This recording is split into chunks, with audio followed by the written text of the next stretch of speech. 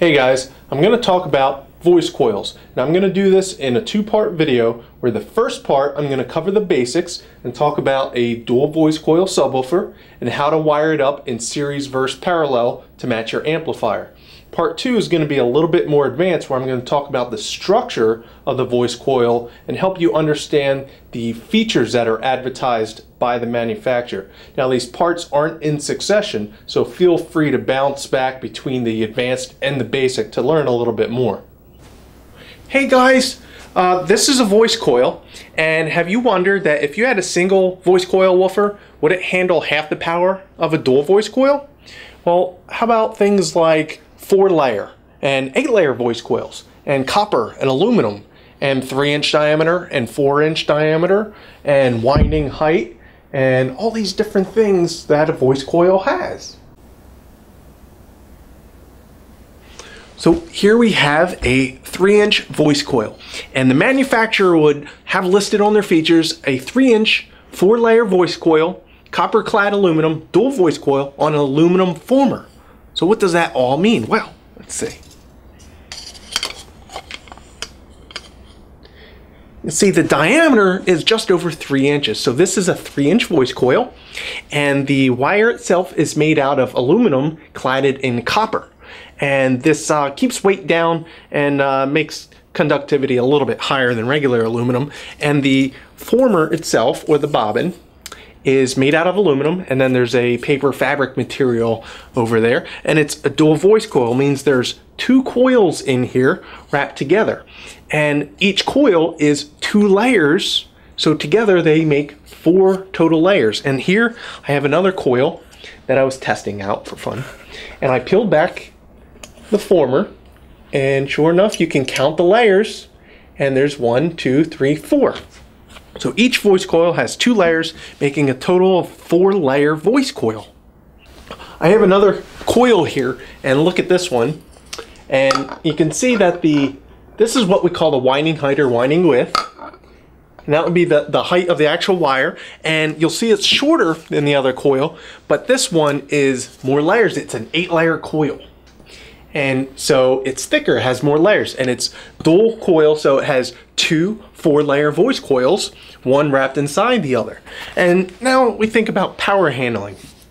And you would think that the larger the gauge wire at a shorter distance would handle more current and thus more power, which it does, but it gets more complicated because resistance is also dependent on that.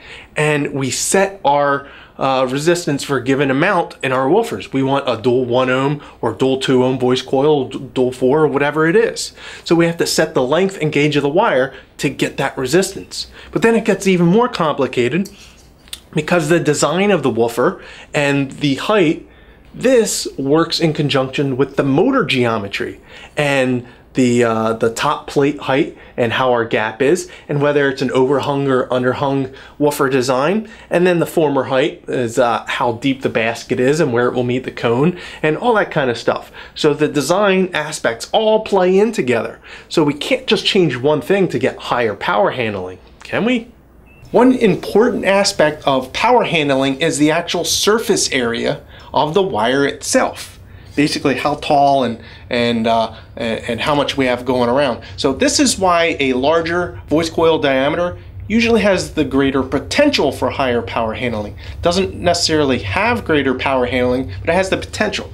And sometimes you can have a 4 inch voice coil when compared to this 3 inch with a shorter winding height. So the total surface area might be about the same as this, or maybe less. But sometimes if you have the same winding height but a larger diameter, it's going to have more surface area and we'll be able to cool more because that metal that is uh, absorbing and dissipating that heat is, is more to the surface and dissipating it outwards. So can we change the surface area of a coil to have it uh, handle more power? Well, here we have a motor and most of our designs are an overhung design where we have some of the coil sticking out of the top of the gap. And this helps because door movement has to be set right because in the gap is where it interacts with the magnetic field and creates force. And if it pops out just a little bit, door movement, it's still going to go in the gap at some point. But when it when it sticks out of the gap, it's going to be able to interact with air around it and dissipate heat a little bit.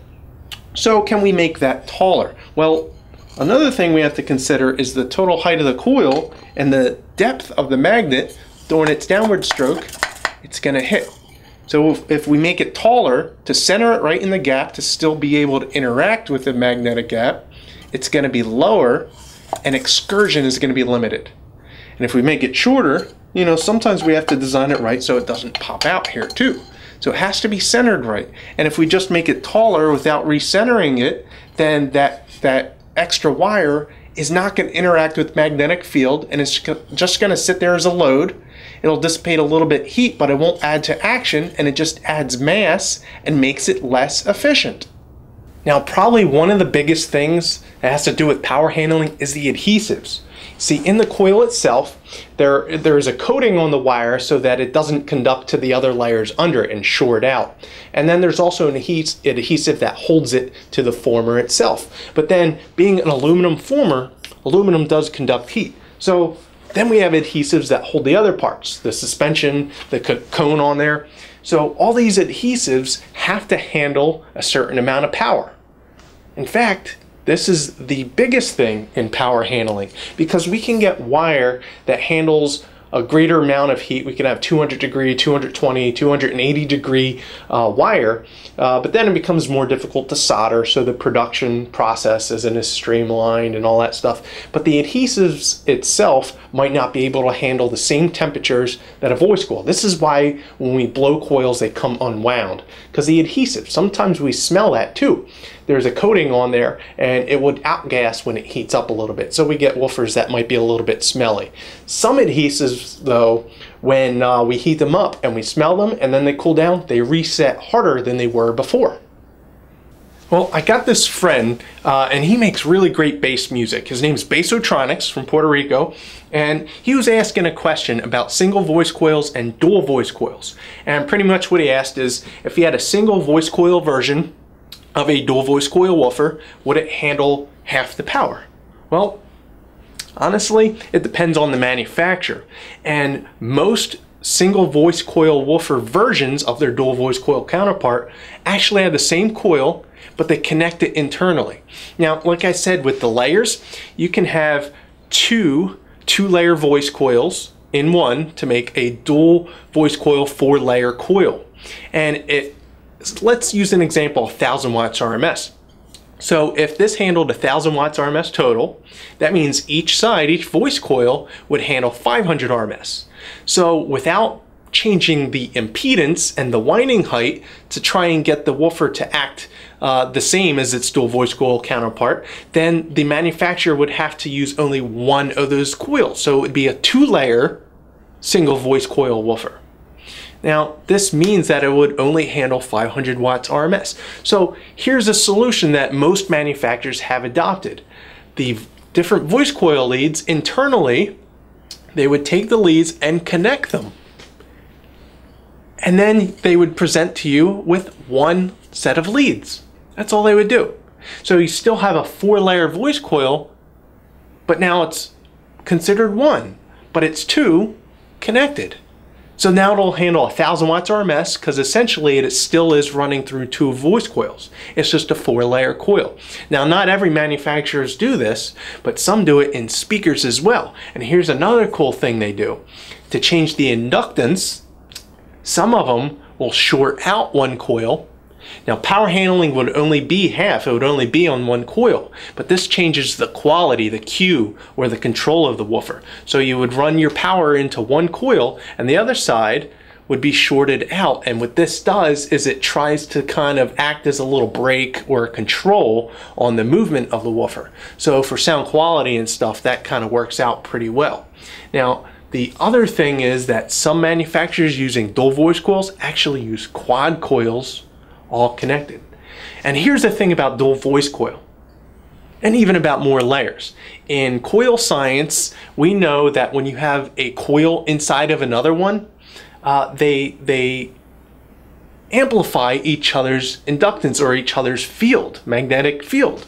So when we have a dual voice coil woofer with four layers, each layer would, would increase the strength of the field of the layer before it. And if we only had a single voice coil that was two layers, well, it wouldn't amplify it as much. It would just be two coils, two, two layers amplifying each other versus four. So think about that. Think about how large of a magnetic field we can get with more layers. Hmm. How about copper versus aluminum? Well, that has been debated a little bit and it really does depend on the manufacturer and how they compensate for the differences in metal in the structure of the woofer. So performance can vary depending on uh, which actual model woofer you're testing. Now aluminum is not as dense as copper which means it's lighter but also it's not as great of, of a, an electrical conductor and heat conductor. The heat conducting is the thing we want to pay attention to because aluminum won't really heat up as fast and it'll also cool down quicker because it doesn't hold on to that heat inside its molecular structure. But the thing is, it's not as conductive, so does that mean we need more of it to get the same impedances? Well, yes, but it's two thirds as conductive as copper, but only one third the mass. So even when we get to the same impedance, it's still going to be a little bit lighter. This means it can be more efficient, sort of. Uh, it, it tends to be a little bit more peaky in the uh, frequency response curve of a woofer and it tends to be a little bit more on the higher end of the frequency spectrum. So copper is used mostly for good sounding musical type woofers, where aluminum is going to be used for more kind of SPL types. And what I found is around 1000 to 1500 watts RMS is that cutoff point, where anything below that then copper is going to be king. But anything above that, and aluminum, aluminum does a really good job. So it really depends on what you're doing and that actual model of the woofer. So check out both options and ask around and see what people tested and what they gained and lost in each version. Now, another thing you might be asking is if the larger surface area on the coil and the larger diameter coils had the potential to handle more power, why not make them all 4 inch coil or larger? Well, because the frames and the suspension uh, also come into play there. The larger the diameter of the coil we get, then the smaller of the uh, distance in between the coil and the edge of the spider mounting plate that we have. So we, we would use a smaller uh, um, uh, range of motion of leverage on that spider. Now we can make that spider ring bigger and use a bigger spider, which we do sometimes. But again, there's a limit because we have to have the geometry of that frame match up to mount the motor and it can't be larger than the diameter of the cone or else we'll never be able to fit it in our speaker box. So there's a lot of things that come into play. And basically what I'm saying with all this stuff is it comes down to everything is a system and related to each other. So a very good designed speaker or subwoofer is done with all the parts in conjunction with each other. So you change one thing and you change everything else to compensate. And there's a lot of trial and error and engineering and design that goes into that. So you can go out there and design and make your own speaker and it will work fine. But chances are if you don't take all these things into consideration, it's not going to perform better than something that has been designed with all these aspects uh, uh, you know kept into consideration. So play around with all these parts and, and research more. There's also something else we might have to do in the industry. You see, most speakers and subwoofers are only about maybe at the most uh, 4% efficient, but the majority of subwoofers are less than 1% efficient at transferring electrical energy to acoustical energy, and the rest is given off as heat, wasted motion, and, and all the vibration of molecules and how excited they get. But anyway, maybe what we need to do, instead of concentrating on being able to handle more power, maybe we need to concentrate on how to use more power and get that efficiency rating a lot higher. How can we do that? Remember what I said about coils a coil and a coil and a coil creates a better field. Hmm. I think I'm going to play around with some stuff like that. Yeah. That'll be fun.